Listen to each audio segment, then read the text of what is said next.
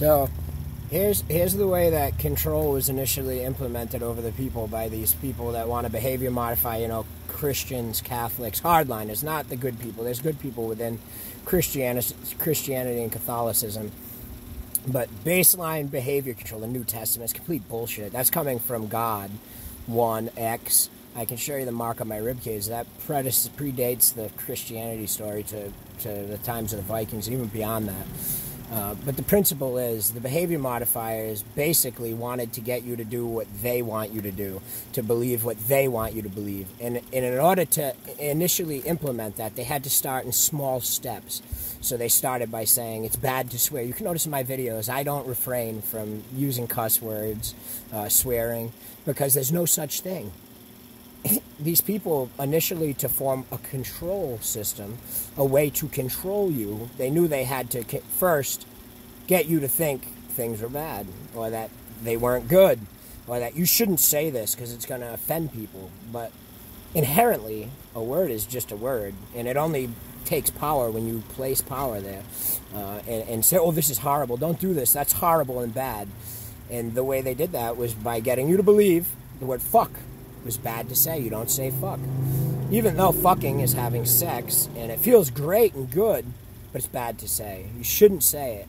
And, and they slowly would get you to believe that's bad. And when you accepted that was bad, then they'd move on to bigger and bigger and bigger things and continually put more and more limitations and restrictions on your life, your ability to have fun, the ability to freely think for yourself and come to your own conclusions and be a leader, a trailblazer, a pioneer, not a follower that blatantly, aimlessly goes along with insanity, which, if you look around Earth right now, you see blatantly aimless followers everywhere, led, being led astray by their own foolishness. Think for yourself, and you'll truly be free. Don't allow people to tell you what's wrong. Swear words are bad. No, swear words aren't bad. There's no such thing. There's it's you, you saying that you think it's bad, so you shouldn't do it. That's that's a baseline form of control. The only thing that's truly something that's unacceptable in this universe is violations of free will you know, not allowing another to walk that path and, and to grow through their experience themselves and come to their own conclusions, trying to, to automatically constrain. Now, it's different with a, a, a parent and a child simply trying to teach that child to choose things which are conducive to, to remaining healthy and whole and pure in, in, in its inception as, as being able to live but to, to try to indoctrinate into a set of restraints and constraints and controls is foolishness nothing is gained by by limiting the human spirit. Everything is lost, actually. Um, so when, when you when you sit back and understand to separate yourself from all these prejudgments you allowed others to make for you, and start to make the judgments for yourself.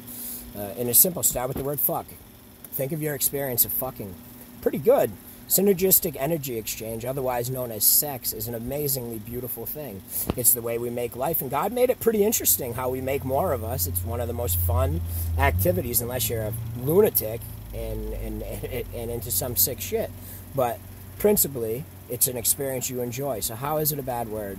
Uh, furthermore, as far as as allowing once you take that and let that be, then they'll continue to implement more authoritarian constraints and controls over your life and limit your experientiality because now you're always trying to please the senses and, and, and worry about, uh, you know, having a good time. But ultimately, within that thought, you lose the good time itself. You are no longer one with the moment and, and freely expressing expressing yourself. When you censor your expression, you're stifling your currency and limiting your ability to be strong and brave and free.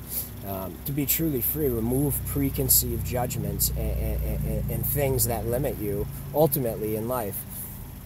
It's not a it's not a hard thing once you look at it to understand, and, and the faster that you come to the realization and make choices for yourself and think for yourself and, and allow yourself to clearly articulate your expressionalism in a manner that's conducive to you know being whole and happy and, and enlightened. Saying a cuss word doesn't mean anything, and that's why God uses a lot of cuss words. I'm just trying to shock you from the, the hold people have over you. You're allowing people to take hold of you and shove you in there and restrain you and constrict your freedom. Uh, and I, so I try to shake you from those foundations of control because you, you've allowed someone else to come in and fill your head full of shit. Free, wipe the cl- slate clean and, and, and move freely because it's through that initial constraint that they can implement more controls over what you do, what you consider fun, uh, anything. I mean, even drugs and alcohol. People that choose to do that, most are shielding themselves from some past trauma that they didn't resolve properly.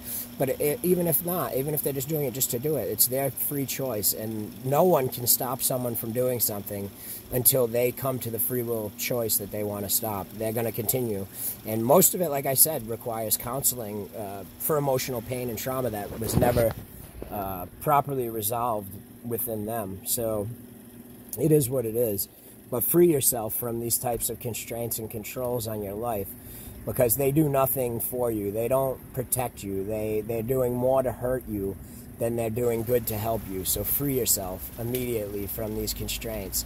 Don't allow people to constrain you like that. Allow yourself to be free. Free yourself from those constraints.